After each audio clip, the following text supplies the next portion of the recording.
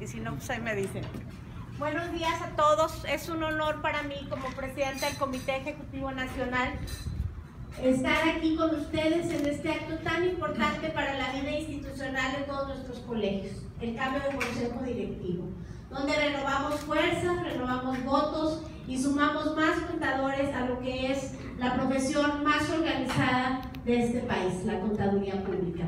Sé que todos ustedes conscientes del compromiso que el día de hoy adquieren con la sociedad y con la membresía que los ha elegido a ustedes para representarlos en esta ciudad de Hermosillo a la profesión organizada de Sonora.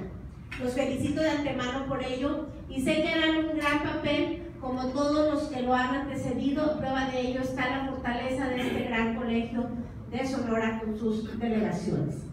Les voy a tomar la protesta reglamentaria, por lo que les pregunto a ustedes si están dispuestos a hacer cumplir los estatutos del Instituto Mexicano de Contadores Públicos de la región noroeste del propio instituto, así como los propios del Colegio de Contadores Públicos de Sonora y sus disposiciones normativas que de ellos emanan. ¿Protestan ustedes? Sí, protesta. Como estoy segura que así lo harán, de antemano los felicito. En caso de no hacerlo así, la sociedad y la profesión contable se los demandarán. Muchas felicidades.